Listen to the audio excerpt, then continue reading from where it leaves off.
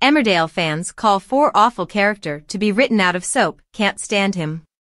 Emmerdale viewers were thrilled at first when Aaron Dingle returned to the ITV soap last month, but many are now having second thoughts about the character.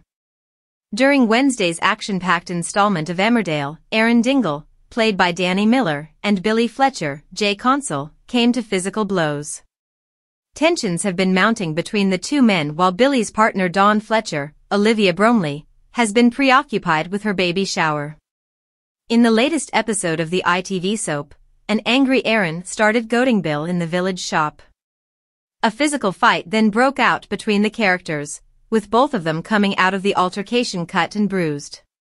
Will Taylor, Dean Andrews, was forced to break the men up before either one of them ended up needing medical assistance. Following the vicious brawl, Billy realized just how upset Dawn and the children would be to see his injuries and learn he got violent. As predicted, Dawn was severely unimpressed when battered Billy arrived home, furious he allowed Aaron to provoke him into a fight.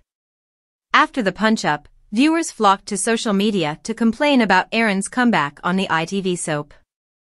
Aaron returned to Emmerdale last month after more than a year away from the Yorkshire Dales-based serial drama.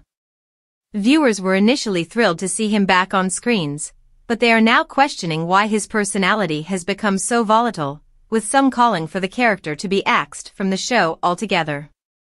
Writing on X, formerly known as Twitter, Danny penned, Aaron is awful hashtag Emmerdale. Lee added, the producers really need to sort out the direction and actions of the character Aaron, they have totally ruined everything about him. Hashtag Emmerdale. Craig remarked, I have to say, I'm surprised and disappointed that Danny Miller agreed to portray Aaron like this hashtag Emmerdale. Another fan commented, pretty sure Aaron is irredeemable now. Can't stand him hashtag Emmerdale. However, Bethany wrote, Aaron is not a vile human. He's a misunderstood, hurting human who is currently doing some pretty vile things. There's a difference.